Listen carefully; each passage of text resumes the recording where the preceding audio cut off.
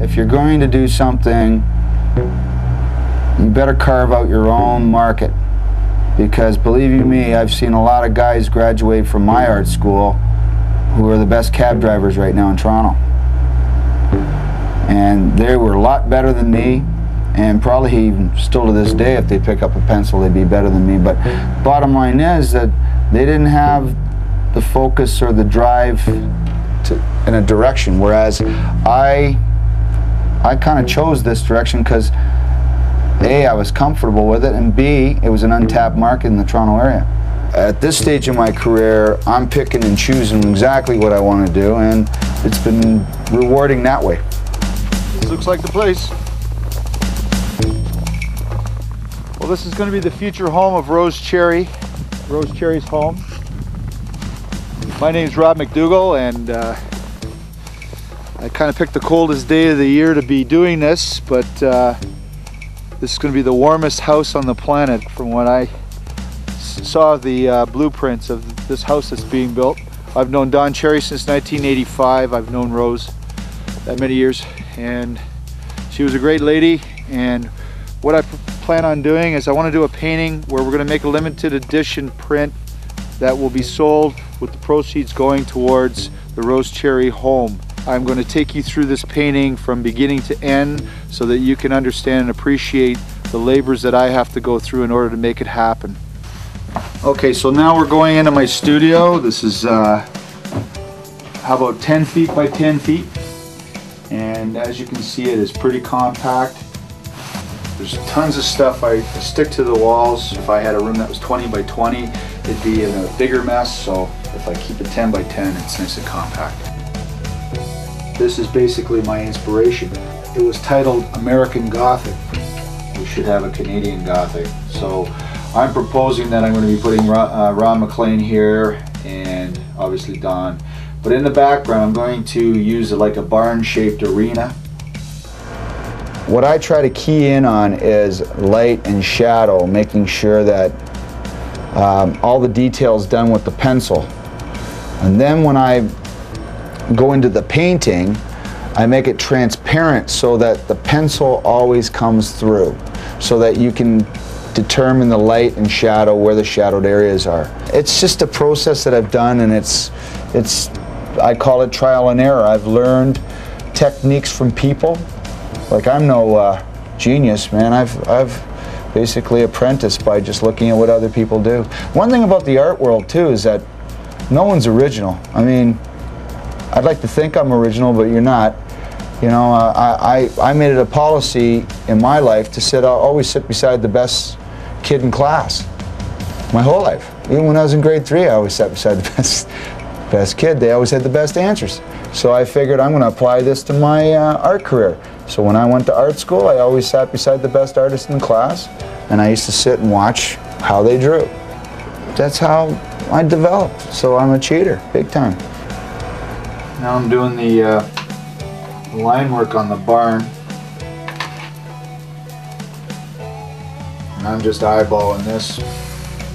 I'm not using any math.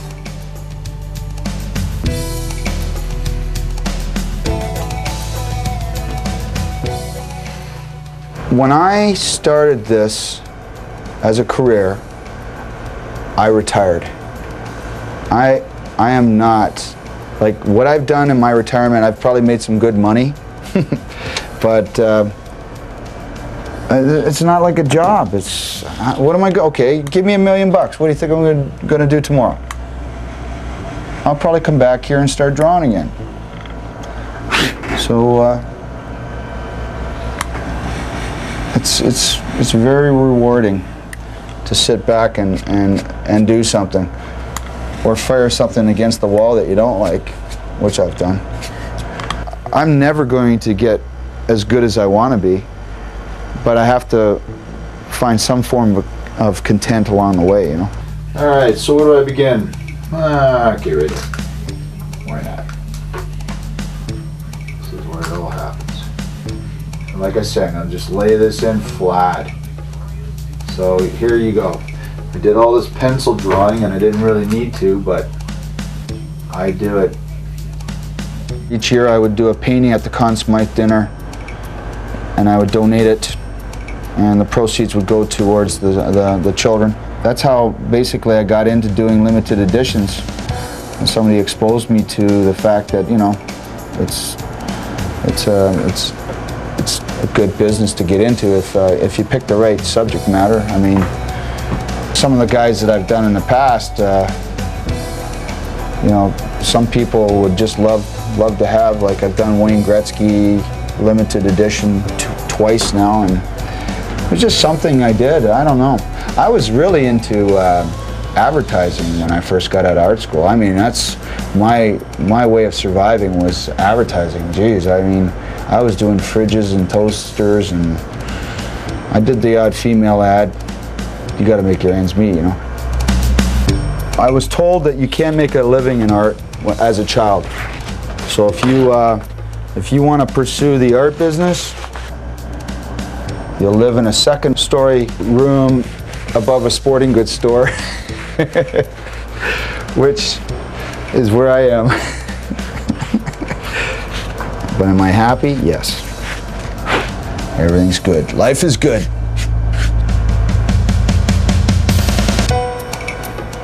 This particular project goes back to my relationship with uh, Don Cherry back to 1985 when I first met him. I'd always been a, a big fan of his.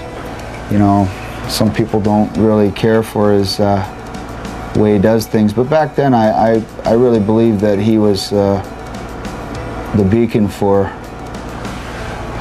all us rednecks out there.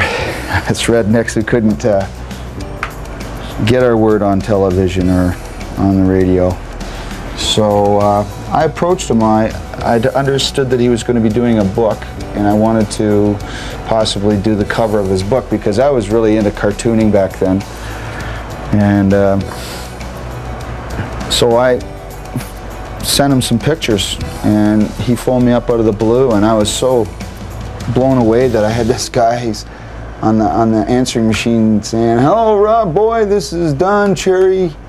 I really like what you're doing. I want you to come in and see me." And wow, you know, I just graduated from art school, and I thought, man, this is it.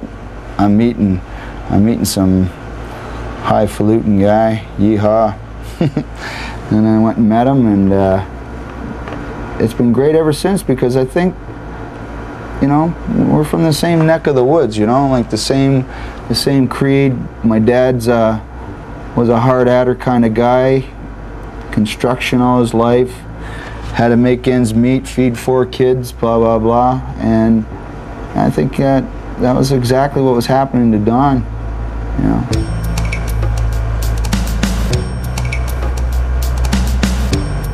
My process is my process. If I've made your nose that way, it's because I've interpreted it that way, not how you've interpreted it. I mean, there, there's a lot of artists out there that will give you exactly what you want. I mean, if you're married to a ugly, butt ugly woman, which there's an artist in the past named John Singer Sargent used to take butt ugly women and make them beautiful. Okay? But he was getting paid handsomely for it. Well, I'm not getting paid handsomely, so if you're butt ugly, I'm going to draw you as I see it. If I interpret you my way, then that's the way it is. That's my interpretation. If I've made you, um, if I've offended you, I certainly didn't mean to do it. I just blame it on the hand.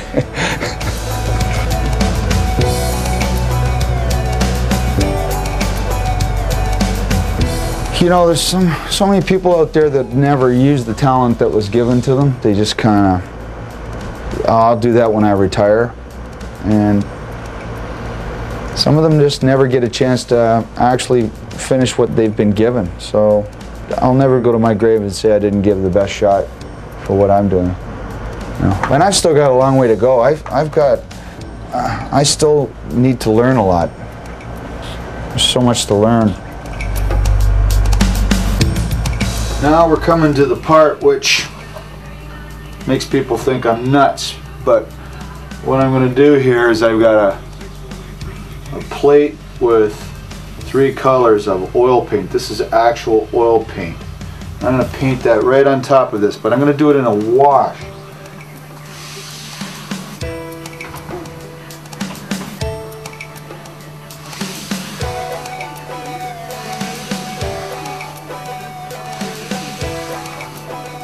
The next part is uh, I use this little piece of uh, kneaded eraser. And even though that this painting is still wet, the paper is still wet, I can still pull off subtle little areas. Like uh, obviously I just hit the forehead but I can go in there and just pull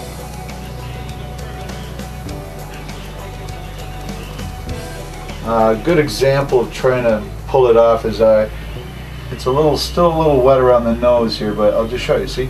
See what happens I can make this thing jump right off if I make a mistake I rub it back in which I just did when I'm with my kids, that's when I realize, you know, like this is uh, the coolest job because they, they're at home doing their homework and doing their math and I'm sitting there drawing, drawing cartoons and they just, they can't figure it out that how can you, how can you get away with that? And I said, well, there's a lot of history and math behind this drawing, kid. I'll tell you that right now. I had to pay my dues. From the Don Cherry Grapevine connection, I wound up working with uh, Bob McKenzie at uh, the Hockey News way back when, same same time I guess. And actually around that same time, I was approached by the Toronto Sun.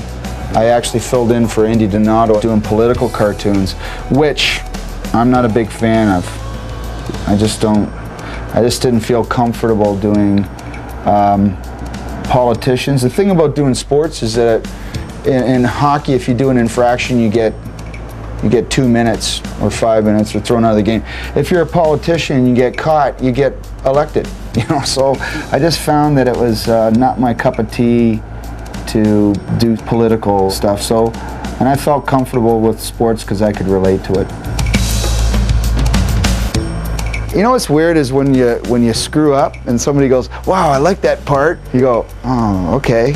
But it's funny that you can I can do a painting today and 10 years from now look at it and go, "Man, that was that was really good then," or "That really sucked." But I mean, I, I found looking back at my work like 15 years ago, some of the things that I was doing then are a lot more fresh. Like uh, I find it more exciting when I look at it now, going, "Geez, I I should try that." And I'm thinking, "Well, you did. You did it 15 years ago." But I, I like to look back, yet you tend to become your worst critic as well. Okay, these are leaves that I picked up about a month or so ago. Put them in a telephone book and squeezed them shut. What I'm going to try to do is I'm going to put these on the very corners of the painting. So we got your real live Canadian maple leaf. I had a friend of mine say to me the other day that uh, what's inspiring you to do this and for some reason he used the line well we're not going to get out of this alive are we we may as well do something good I just think this is the kind of cause that I want to be involved with and uh, if we can make this happen and we uh, make the sales that I'm hoping, uh, it's going to make the uh, construction of the house that much sooner, I guess. I just want to contribute. I just want to be part of it.